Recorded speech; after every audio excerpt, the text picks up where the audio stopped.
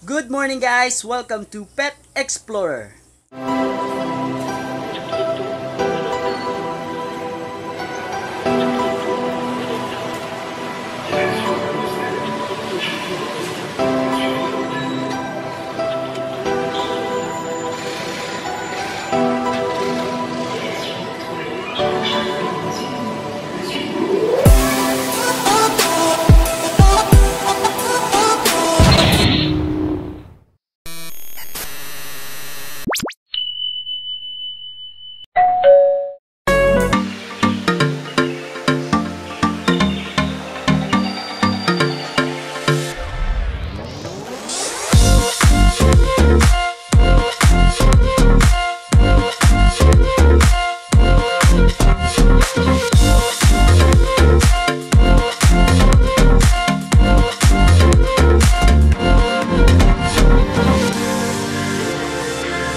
Once again, good morning mga ka-explorer. Kamusta naman kayo dyan? Medyo matagal-tagal din tayong hindi nakapag-update sa vlog kasi medyo busy sa personal na gawain. Pero, eto na muli nagbabalik mga ka-explorer. And, binabati ko muna kayo ng advance happy Valentine's Day. So, February 14 na bukas.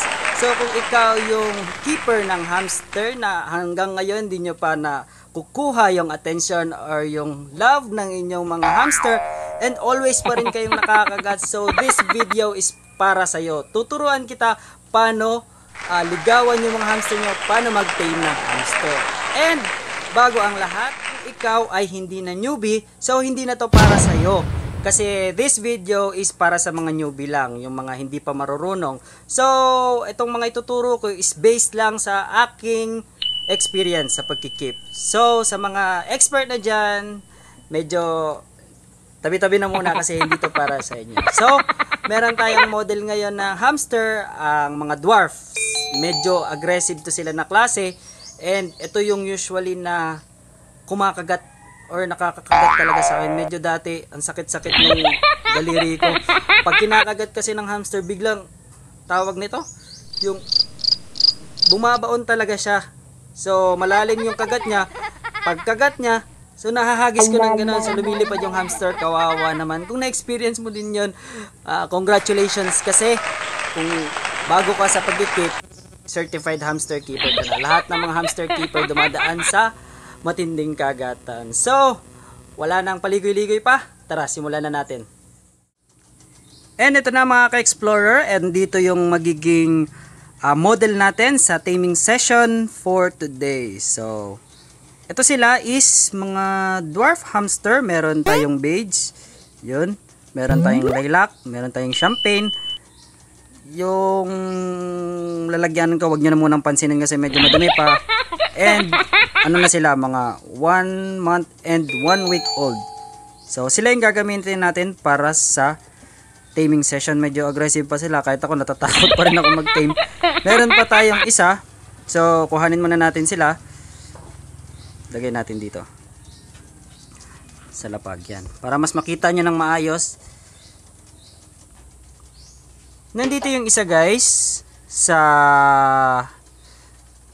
Ano, meron pang parents yan.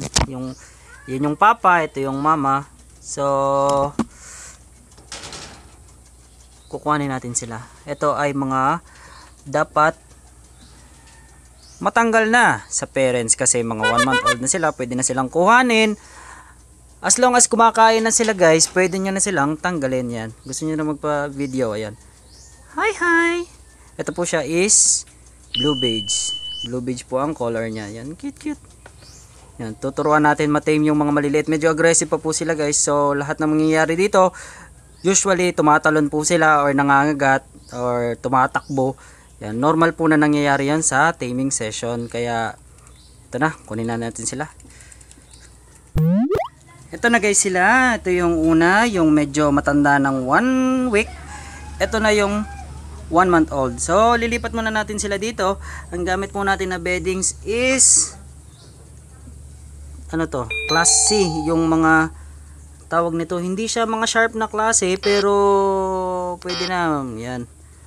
Wait lang, ha? Pwede na siya, ayan. Hindi siya mga sharp na klase kahit ano. Meron kasing chipsy or tinatawag naming bagaso. Yan. Meron siyang medyo matutulis yung parang mga tawag nito, yung ibang klaseng pag pag shred ng kahoy. So medyo may matutulis siya na part.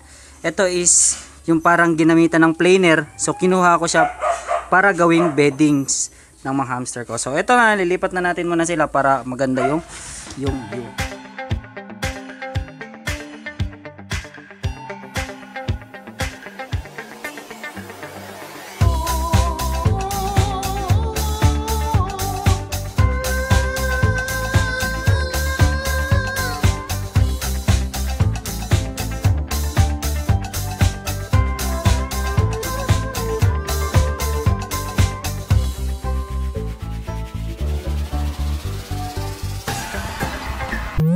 And yun na nga guys. Nalipat ko na yung lima. Naglipat ako ng isa.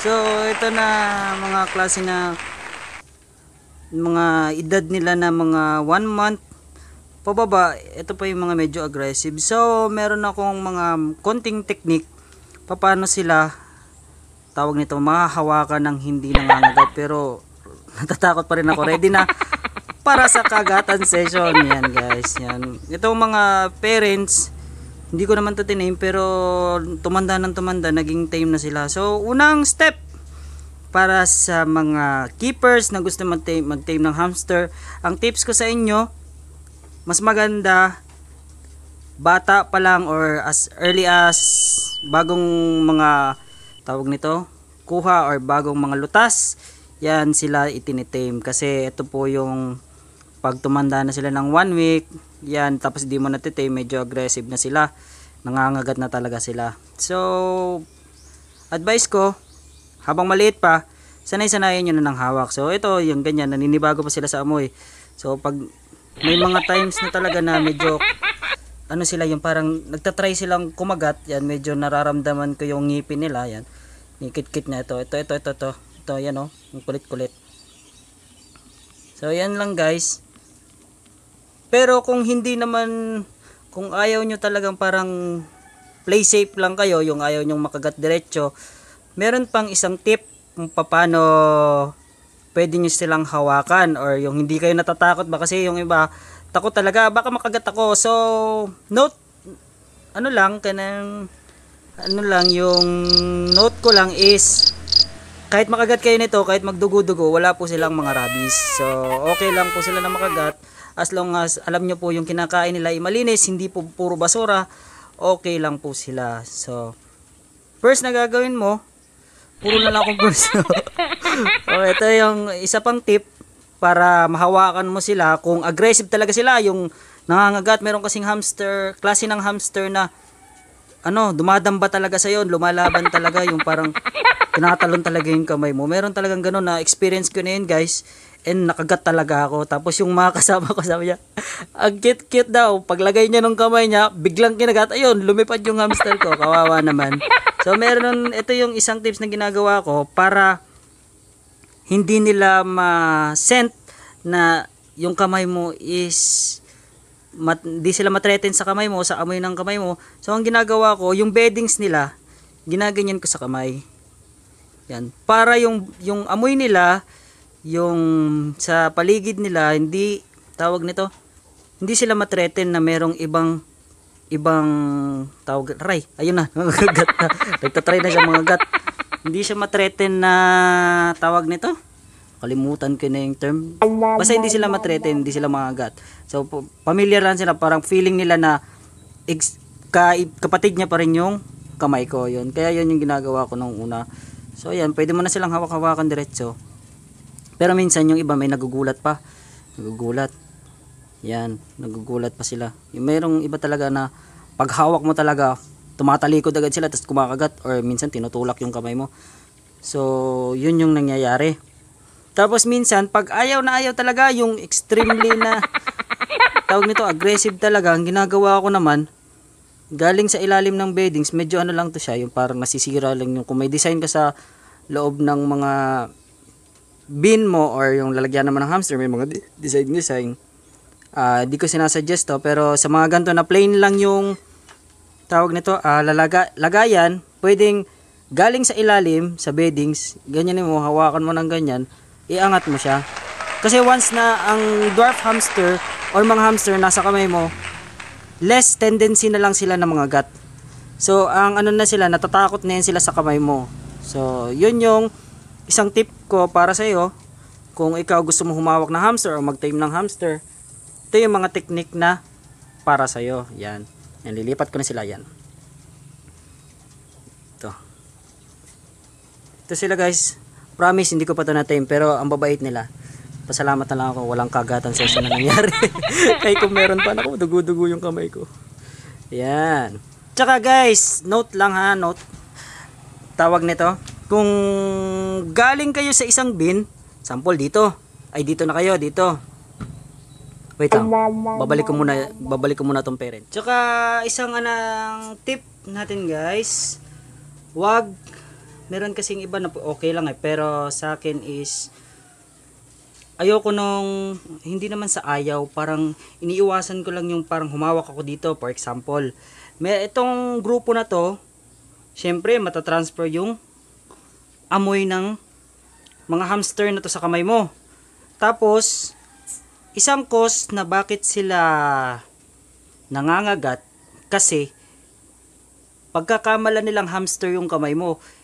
So, meron kang mga sabihin na lang nating sampung hamster. Eh, lahat sila eh gusto mo i-tame. Ang mangyayari ngayon yan, kung itong kamay mo, ililipat mo sa kabila, syempre maamoy ng kabilang hamster yung kamay mo. Meron silang scent na hamster, akala nila na hindi nila kasama. So, ang mangyayari yun, yun talaga yung mga cause na makakagat ka or aawayin ka nila lalo na itong maliliit. So ang ginagawa ko muna pag hawakan ko na yung kabila, ito, gaganyanin ko lang muna, ipapaamoy-amoy ko lang or pwede hawakan ko lang to, ganyanin ko, ikalat ko sa kamay ko para maiwasan yung kagat-kagat. yan, yan. Tapos ha, pwede mo na silang hawakan. Meron kasing tawag nito. Yan o, yan o, medyo nakakakaba guys. Yan, hinahabol ito. Hinahabol niya yung kamay ko. Ayun, oh. Yan, medyo humarap na sila, medyo nakakatakot. Pero, yun, charan! Ito na siya. Yan guys. Yan yung mga technique or mga practice ko kung paano mag-tame ng hamster. So, sa mga beginners natin dyan, huwag kayong matakot mag-try or huwag kayong matakot na makagat. So, normal yon Medyo masakit lang siya. Para kang, ang feeling niya, para kang tinusok ng dalawang karayom na sabay. Ganun yung feeling niya guys. Tapos magdudugo siya ng mga ilang segundo, mga sabihin natin tatlong segundo. Tapos okay na, magpakagat ka na ulit. Joke lang yun guys. So, yun na nga, kung practice mo, ikaw gusto mo pa rin, gusto mong mag, mag-tame ng hamster, mas suggest ko yung mga maliliit. Yan. Medyo aggressive lang siya, pero okay na rin.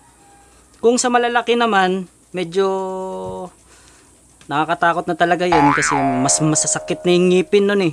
Mas malalaki na yung ngipin nun. So talagang babaon yung bawat kagat nun, sa bawat kagat nun, na, ewan ko na lang sa'yo kung hindi, hindi mo ma, tawag nito, hindi ka mapasigaw sa sakit.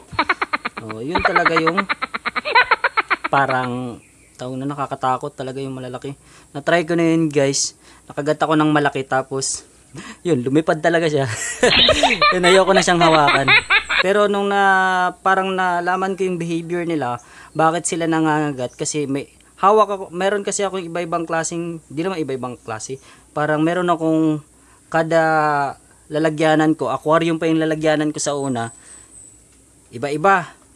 Tapos, gusto ko silang itame lahat, yung kagaya ng sinabi ko kanina. Humawak ako sa kabila, for example, sa aquarium A, humawak ako doon mga ilang minuto, mga 5 minutes, ganyan. Tapos, hindi ako naghugas ng kamay or hindi ko naalis yung yung amoy, yung scent ng hamster A doon sa kamay ko. Eh, humawak ako doon sa kabila, lalaki pa naman yun, medyo aggressive. Pero actually, mga babae din, aggressive, lalo na pagbuntis. Pag hawak ko doon, yun, hindi ko pa nababa yung kamay ko, kinagat na agad. Ano yung talaga? Uh, sinalubong niya yung kamay ko, yun, ang sakit-sakit. Tapos, mga ilang segundo, wala nang dugo, Pero yung sakit nandun pa rin sa daliri ko. Mga ilang beses na rin ako nakagat ng hamster. So, okay lang. Pero, masakit talaga makagat. Kaya, iwas-iwasan nyo na lang. So, yun. Yung tips ko para mahawakan nyo yung mga hamster nyo. So, dyan nagtatapos ang ating hamster taming session mga ka-explorer. Sana may natutunan kayo ngayong araw natin kung paano natin matitame yung mga alaga nating hamster. So, mga gustong mag-try ng mag-tame ng hamster, so subukan nyo lang, huwag kayong matakot makagat yan, sabi, gaya ng sabi ko kanina. And at least pagkatapos nyong matame yung hamster nyo, maka-establish na kayo ng konting relationship, pwede nyo na silang paglaanan ng 30 hanggang 2 oras. Yan, hawak-hawakan nyo lang sila everyday or pwede sunod na sunod na araw, wag lang everyday kung wala talaga kayong time. At least maglaan lang kayo ng oras. Pwede rin yung style pala guys, pahabol lang yung maglalagay ka ng pagkain sa kamay mo tapos ilalapit mo dun sa hamster, hintayin mo makagat, joke lang.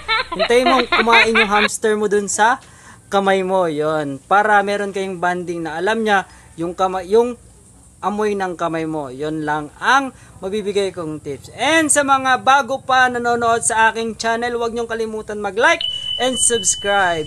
Again, this is Harvey Villaver, ang inyong Kapet Explorer. Good day and bye-bye!